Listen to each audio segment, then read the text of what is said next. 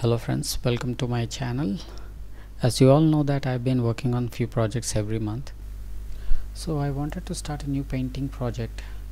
I came to get a required stationery and look at this cluster. Every time it's like this. To put stop to this monstrosity I got an idea. Actually it's not mine. I was inspired from an, a creative YouTuber. She did this with a foam board but uh, I wanted to do with the leftover MDF board from my previous projects so first I measured the length of the longest pencil I had to get the depth of the box and took the required measurements which you can see later in this video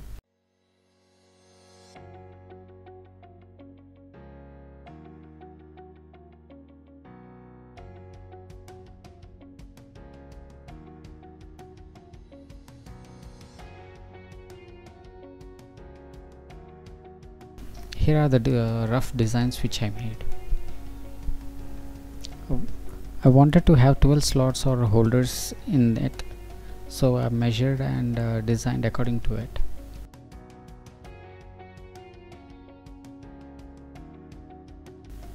These are the sides and this is the front view how it look gonna look like. And these are the top and bottom parts.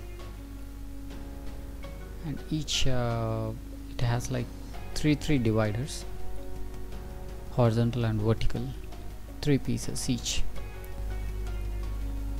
So I cut the MDF board according to the sizes which I had required.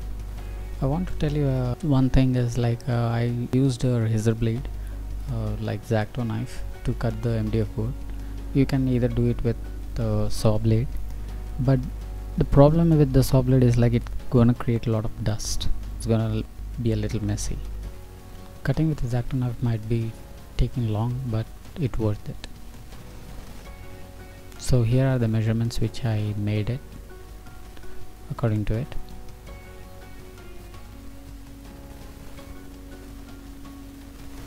I learned couple of tricks while working with MDF and uh, this is the way we can cut the slots at the corners and attach it. It's the best way to do it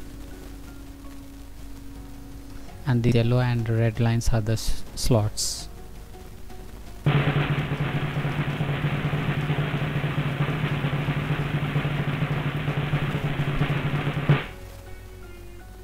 I spray painted black inside and outside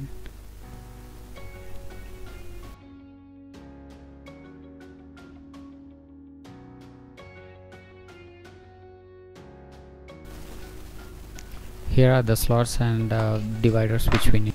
This is a technique which I learned like uh, cut the slots into in between so that they can attach easily without any there you go my assistant my niece Mahika. She is helping around just like holding the box in the right position until I assemble everything. You know what? She gets she gets bored very easy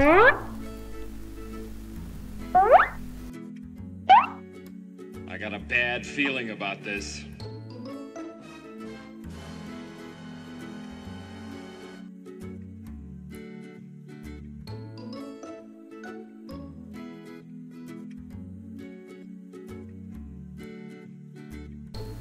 now you can see the purpose of the sl slots which I made it into half just gonna take a couple of seconds to assemble and also we uh, there is no need of glue or anything and it gonna hold very strongly that's it. Ta-da!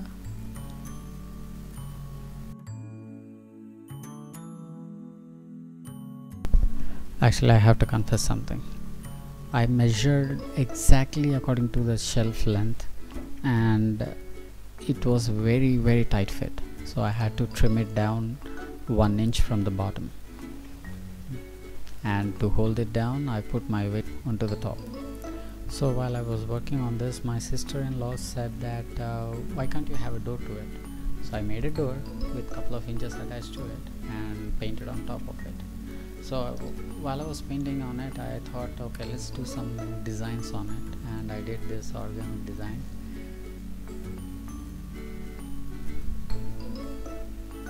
And the red part which you're seeing now is my name and it's like R A A J S D E S I GNS Raaj Designs. So I just incorporated into it and did this design.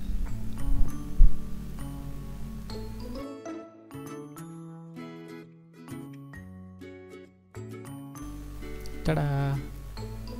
And by the way to hold the door I made with a leather strip attached with a couple of screws here my assistant is back with the stationery. Lots of stationery. Lots and lots and lots of stationery. Now the hardest part. I need to sort it out. So uh, when I looked at it the door looks empty so I wanted to do something on the door. Left over some resin from previous works and some leather. So I made these slots and I made a ziploc uh, pouch on top of it.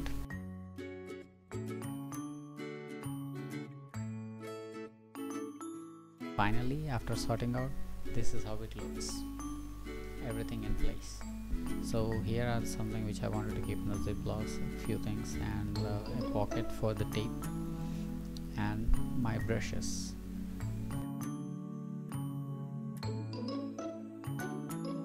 on top of that I made uh, two drawers where I can place more small things which I cannot able to reach inside the slot.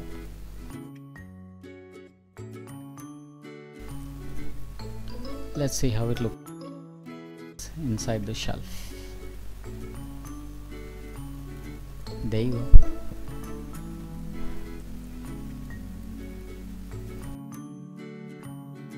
this was the previous cluster which you looked at it how it looks and it's pretty hard to pick it up.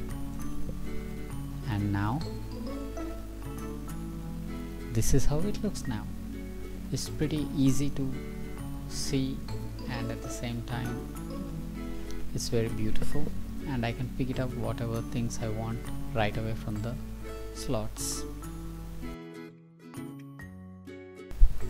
Hope you guys like this video and the making please do support me by leaving a comment share and don't forget to hit the like button and subscribe to my channel to see more of these projects. Thank you so much for watching